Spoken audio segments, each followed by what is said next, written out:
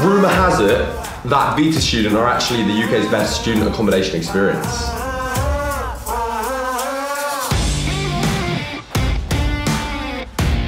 I've got a kitchen, they've got 24 hour security, they've got a fully kitted out gym.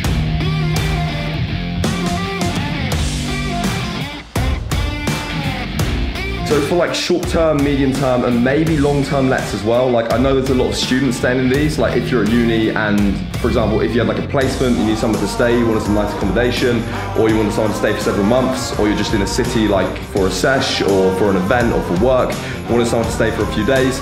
These guys have you covered.